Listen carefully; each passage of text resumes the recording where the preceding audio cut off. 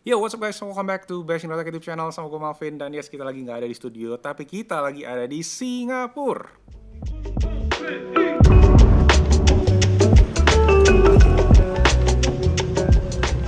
Hey, hey, hey, hey. Landed in Singapore.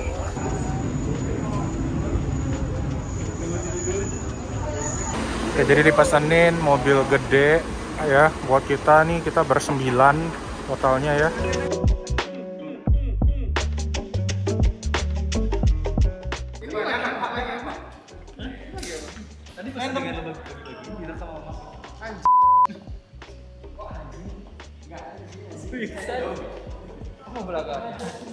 Mik, awas Mik.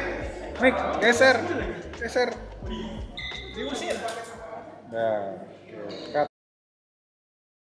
Oke, kali ini kita ke Singapura ngapain? Karena, yes, hari ini adalah harinya iPhone. iPhone Day di mana orang-orang pick up iPhone, ya, para, para yang pesen, semua orang bisa punya iPhone 14 Pro dan 14 biasa hari ini.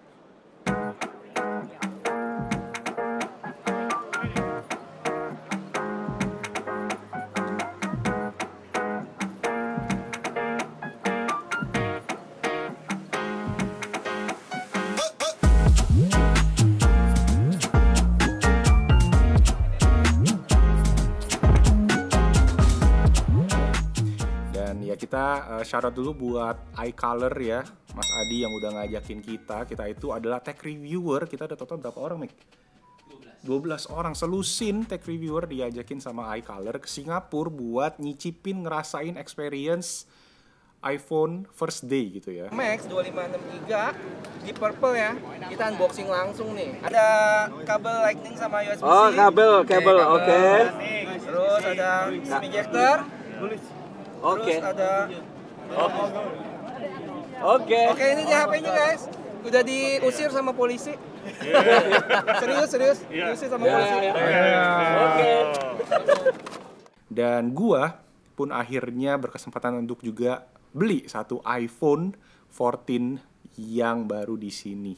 Apakah iPhone-nya? Yuk. Tada, ini dia iPhone yang gua dapetin akhirnya setelah perjuangan yang lumayan lama karena gue nggak tahu kita harus order online jadi gue pikirnya gue nginget video dari eh, Droid Lime dari Wasa Wirman beberapa tahun yang lalu mereka tuh sempat nge-camping juga nyobain dan ternyata toko di sebelah Apple Store yang nggak perlu ngantri itu nge- ngejual juga si iPhone yang waktu itu dijual. Gua eh, pengen nyobain itu karena gue pikir beli di toko mungkin lebih enak ya karena nggak perlu ngantri-ngantri banget. Eh, jadinya gua eh, pilih jalur tersebut dan ternyata semua toko di Singapura itu sold out buat iPhone 14 yang Pro dan Pro Max.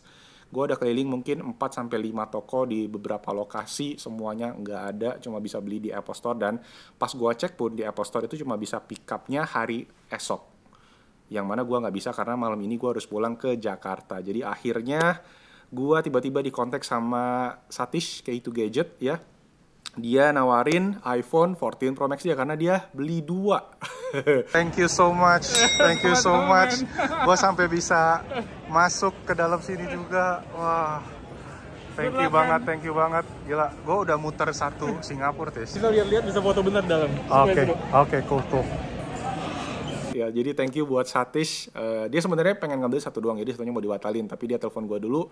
Gue bilang, oke, gue ambil deh. Jadi yes, ini dia iPhone 14 Pro Max yang varian Space Black 512 GB. Yuk kita unboxing.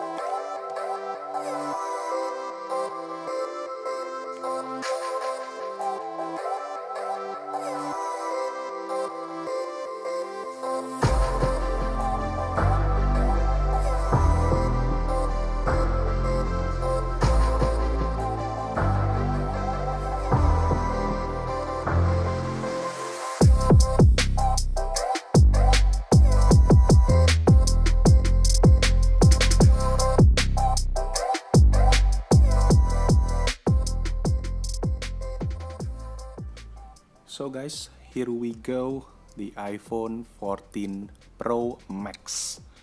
Ini yang warna space black. Jadi space blacknya ini agak sedikit lebih gelap ya dibandingin sama space gray yang sebelumnya gua pakai di ini 13 Pro. Dan overall ya gua kenapa pilih yang Max ya? Gue sebenarnya pengennya yang Pro awalnya karena gue suka gitu sama HP yang agak kecil sekarang ya. Tapi sekarang karena gue mikir dengan fitur-fitur barunya iOS 16 kayak always on display which is sekarang ya ini kalian lihat ya ini always on displaynya enggak bener-bener mati sih kayak yang ada di Samsung atau Xiaomi atau HP-HP Android lain. Tapi ini ya memang on judulnya ya memang always on layarnya selalu hidup gitu dengan wallpaper dan mungkin dengan widget-widget yang ada. Cuma ya itu gue takut jadinya karena dia semua hidup baterainya bakal lebih boros dan itu juga udah di share di review-review sama beberapa tech reviewer kayak MKBHD udah bilang baterainya jadi lebih boros dibandingkan sama yang 13 Pro dan menurut gue 13 Pro pun ini baterainya pas-pasan banget buat gue.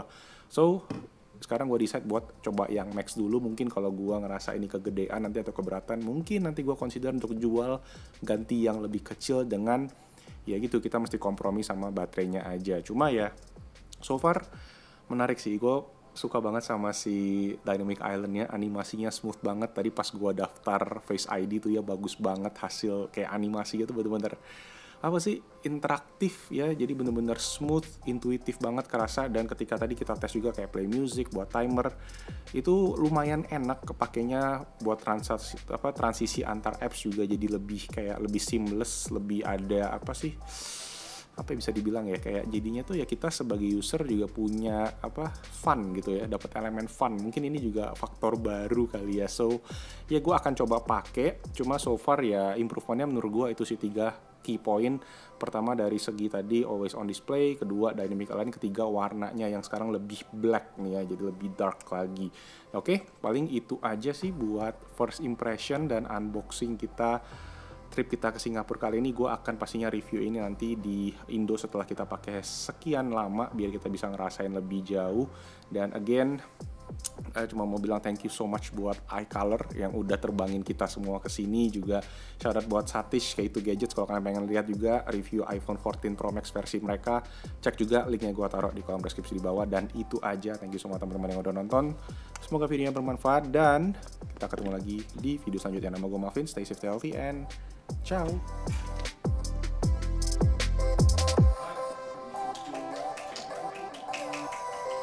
kelihatan ya Mik lagi tidur ya? Iya kelihatan. Ya. Halo.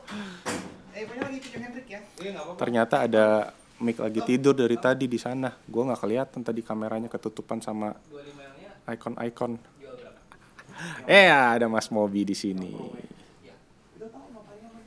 Ya elah gua nggak lihat dari tadi si Mik di situ.